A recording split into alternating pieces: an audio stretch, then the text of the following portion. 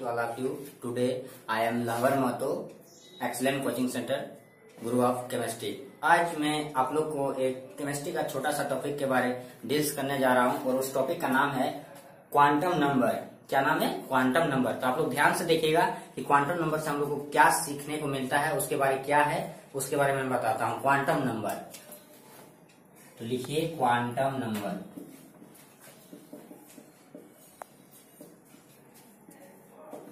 तो सबसे पहले क्वांटम नंबर का हम लोग डेफिनेशन जानेंगे कि क्वांटम नंबर से क्या डेफिनेशन मिलता है। तो लिखिए आप लोग quantum number quantum number is the groups of four quantum number which deals about the position, energy, magnetic moment, and spin of any electron यानी, अगर देखा जाए क्वांटम नंबर किस चीज़ के बारे में बता रहा है? इलेक्ट्रॉन के बारे। कि इलेक्ट्रॉन का पोजीशन क्या है? उसका एनर्जी क्या है? उसका मैग्नेटिक गुण क्या होता है? और उसके स्पिन के बारे में बताता है। अगर सिंपल हम लोग जानेंगे क्वांटम नंबर क्या है तो क्वांटम नंबर चार क्वांटम नंबर का एक ग्रुप होता है, जो किसी इलेक्ट्रॉन का पोजीशन एनर्जी ऊर्जा ठीक है? तथा उसके स्पिन के बारे में बताता है कि इलेक्ट्रॉन किस डायरेक्शन में स्पिन करता है। तो सबसे पहला क्वांटम नंबर का नाम है प्रिंसिपल क्वांटम नंबर क्या नाम है? Principal quantum number principal quantum number जिसको डिनोट करते हैं स्मॉल एन से। Principal quantum number is denoted by small N से। ठीक है? अब इसके बारे में हम लोग डिस्कस करेंगे कि प्रिंसिपल क्वांटम नंबर से क्या मिलता है। एक एक चीज़ के बारे में हम लोग डिस्कस करते चलेंगे। तो प्रिंसिपल क्वांटम नंबर बताता है ऑर्बिट के बारे। किसके बारे? ऑर्बिट के बारे बताता। है नंबर ऑफ़ ऑर्बिट के बारे। तो if N one equal to first N one equal to first, then, sorry, means means first orbit और s सबसेल कौन सबसेल s सबसेल फिर लिखेंगे जब n equal to two means second orbit और p subshell फिर n equal to three means third orbit और d subshell फिर n equal to four means fourth orbit और एफ़ सबसेल ये बताता है कौन? Principal quantum number principal quantum number किसके बारे जानकारी देता है? नंबर ऑफ़ ऑर्बिट के बारे। जब N equal to one means first orbit N equal to two means second orbit N equal to three means third orbit N equal to four means fourth orbit अब चलेंगे second quantum number के बारे। तो second quantum number का नाम है azimuthal quantum number ध्यान से देखिएगा।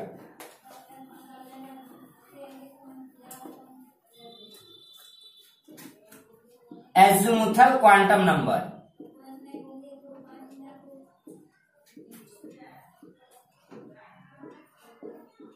जिसको डिनोट करते हैं एल से स्मॉल एल से। और इसका एक फॉर्मूला होता है L equal to minus sorry zero to N minus one क्या होता है? एल बराबर zero to N minus one ये होता है एजुमुथल क्वांटम नंबर का फॉर्मूला तो चलिए इसमें देखते हैं। जब एन इक्वल टू हम लोग वन लिए थे तो एल बराबर क्या हो जाएगा? Zero to one minus one यानी फाइनली रिज़ल्ट ज़ीरो फिर जब एन इक्वल टू टू, तब एल बराबर हो जाएगा वन फिर जब ज़ीरो वन जब एन इक्वल टू थ्री तब एल बराबर हो जाएगा ज़ीरो वन टू फिर n इक्वल टू फोर तब l बराबर हो जाएगा ज़ीरो वन टू थ्री ये हुआ एजुमुथल क्वांटम नंबर और इसका दूसरा नाम होता है सबसिडरी क्वांटम नंबर एजुमुथल को कहा जाता है सबसिडरी क्वांटम नंबर ध्यान से देखिएगा। सबसिडियरी क्वांटम नंबर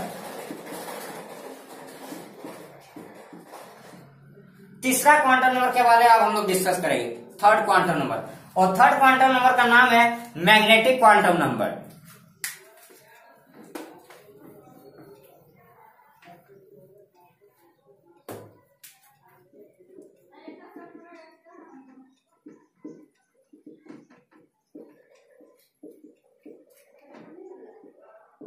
जिसको डिनोट करते हैं एम से।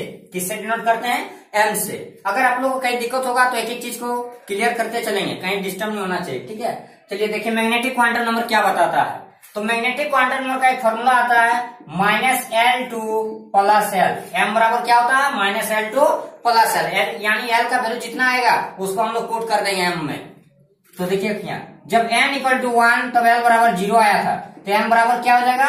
ज़ीरो क्योंकि एम एल का वैल्यू ज़ीरो है, यानी अगर इस फॉर्मूला में पुट करते हैं minus L to plus L यानी माइनस ज़ीरो से plus zero final result zero तो फिर एन इक्वल टू टू तो एल बराबर आया था वन तो एम बराबर हो जाएगा minus one zero plus one फिर एन बराबर टू तो एल बराबर हो जाएगा सॉरी एन बराबर थ्री तो एल बराबर टू एम बराबर हो जाएगा minus two minus one zero plus one plus two N equal to four तो एल बराबर आया था थ्री एम बराबर हो जाएगा minus three minus two minus one zero plus one plus two plus three ये हुआ मैग्नेटिक क्वांटम नंबर उसके बाद फोर्थ नंबर में आता है एस्पिन क्वांटम नंबर जो किस चीज़ के बारे में बताता है? इलेक्ट्रॉन का डायरेक्शन के बारे में बताता है. एस्पिन क्वांटम नंबर जिसको डिनोट करते हैं एस से। किससे डिनोट करते हैं? एस से। और ये दो डायरेक्शन में बताता है। एक क्लोकवाइज जैसे इलेक्ट्रॉन का सिंबल इस तरह। ये हो गया क्लोकवाइज क्लोकवाइज डायरेक्शन और इसका वैल्यू होता है प्लस वन बाई टू एक होता है anti clockwise direction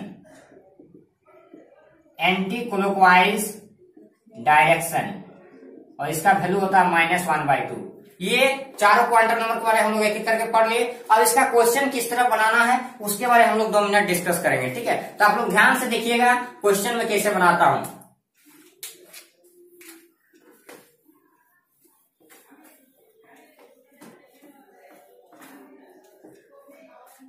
और क्वेश्चन है find the values of four quantum number find the values of four quantum number for each electron प्रत्येक इलेक्ट्रॉन के लिए. For each electron of carbon किसका निकालना है? कार्बन का। यानी क्वेश्चन बोल रहा है कि कार्बन का जितना भी इलेक्ट्रॉन है, प्रत्येक इलेक्ट्रॉन के लिए उसके चारों क्वांटम नंबर का वैल्यू फाइंड करना। तो कैसे निकालेंगे? आप लोग ध्यान से देखिए। तो सबसे पहले इसका इलेक्ट्रॉनिक कॉन्फ़िगरेशन लिखेंगे। कार्बन का क्या लिखना है? इलेक्ट्रॉनिक कॉन्फ़िगरेशन लिखेंगे। ध्यान से देखिएगा। One S two two S two two P six sorry two P two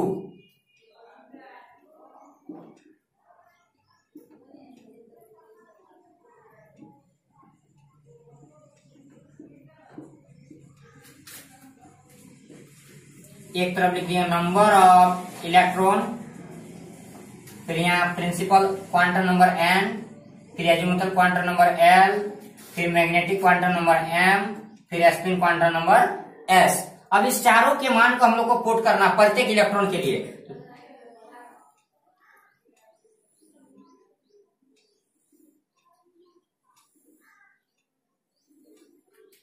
One two three five six अब पहला इलेक्ट्रॉन के, पहला इलेक्ट्रॉन का एन एल एम और एस का वैल्यू पुट करना है, ठीक है? तो पहला इलेक्ट्रॉन कहाँ है? यहाँ पर है। देख, आप लोगों को मालूम है? इलेक्ट्रॉन यहाँ पर ये फ़र्स्ट ये सेकेंड ये थ्री ये फोर ये फाइव ये सिक्स अब पहला इलेक्ट्रॉन का एन का मान पुट करेंगे। यानी एन बताता और नंबर ऑफ़ ऑर्बिट यानी पहला इलेक्ट्रॉन कौन ऑर्बिट में है? फ़र्स्ट ऑर्बिट में है। तो यहाँ हो जाएगा वन ये एल एजिमुथल क्वांटम नंबर बताता है सबसेल पर।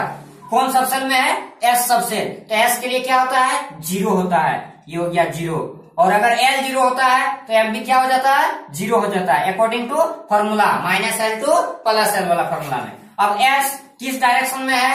पहला इलेक्ट्रॉन क्लोकवाइज डायरेक्शन में है। तो क्लोक के लिए कितना वैल्यू होता है? Plus one by two similarly उसी प्रकार हम लोग बात करेंगे पांचवा इलेक्ट्रॉन का।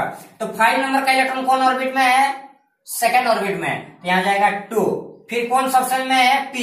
पी रहने पर कितना वैल्यू होता है? वन होता है। यहाँ लिख देंगे वन। अब आया एम क्या आया? एम तो एम का फॉर्मूला हम लोग को मालूम है।